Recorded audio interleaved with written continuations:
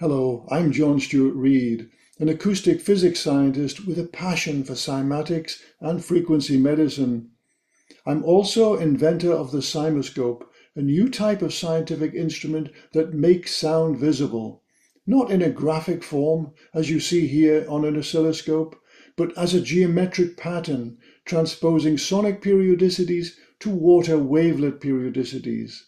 Nature does not use graphs, so the sound that's emerging right now from my mouth is a bubble-shaped emanation, and when that bubble interacts with a membrane, such as the surface of water, it imprints a pattern that we term a cymaglyph. These patterns are invisible to the unaided eye, but can be made visible, and this is the essence of the CymaScope, a precision-engineered instrument that's quite expensive. But now, for a modest price, we've developed the CymaScope app for both Apple and Android platforms. Here it is on an iPad. And if I tap the microphone icon, you can see a stream of imagery as the app analyzes the frequencies in my voice and displays the fundamental frequencies as a stream of beautiful cymaglyphs. Now, let's take a look at some of this groundbreaking app's main features. When you first open the app and haven't tapped any icons, it's automatically in keyboard mode, so you can play a melody and watch the beautiful CymaScope imagery emerge. If you wish to record a melody, simply tap the red record button, then play a melody.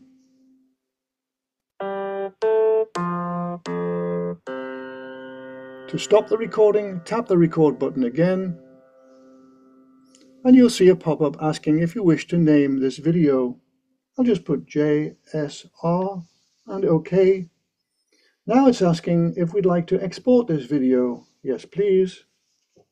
This will take a few seconds. Now if we go to the burger bar at the top right, you'll see where we can play that video.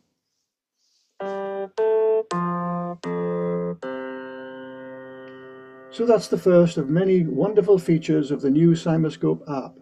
Now let's look at some of the other features. To see your voice made visible, tap the microphone icon. The keyboard will largely slide away and the app will now analyze your voice sounds or musical instrument sounds and display the note name and the cymaglyph that represents that note. As you change the pitch of your voice or musical instrument, you'll see different imagery emerge and sparkle onto the screen, triggered by the dominant frequencies in your voice or musical instrument. The app has a fast Fourier transform analyzer working in the background.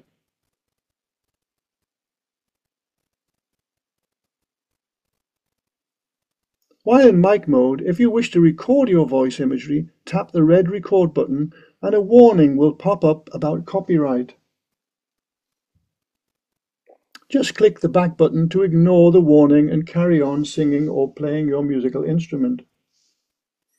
However, the copyright warning is there to protect users from being sued should a user decide to make visible some of Taylor Swift's music, for example, and then post that video online. Imagine the consequences.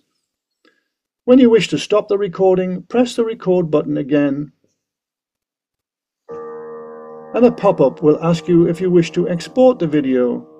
If you tap Yes Please, the video will be saved to your iPhone photo library, and after a few seconds, another pop-up will appear asking you to name the sequence so you can find it in your photo library in future. This will take a few seconds. Let's put song. Press OK. And now if we go to the burger bar at the top right, you'll see song is there. Musical instrument.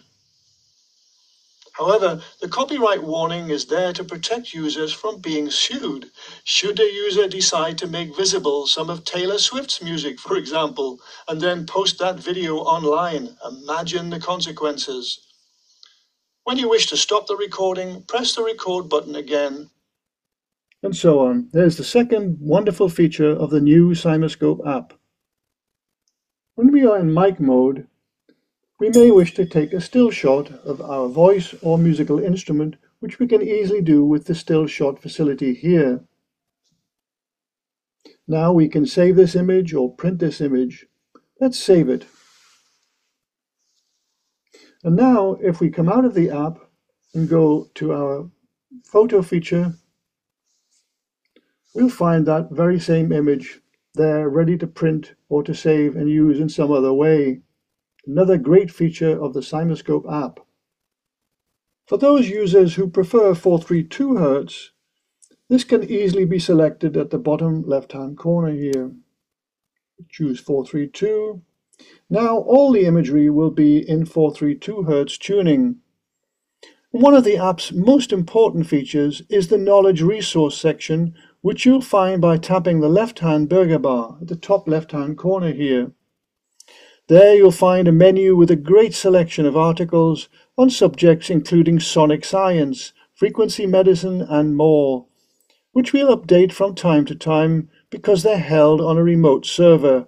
This means that your CymaScope app will continue to evolve and become a wonderful repository of specialist knowledge. And in the video section, you'll find some state-of-the-art CymaScope demonstration videos by James Stewart Reid and videos on some of our great cymatic products. These are just some of this groundbreaking app's wonderful features.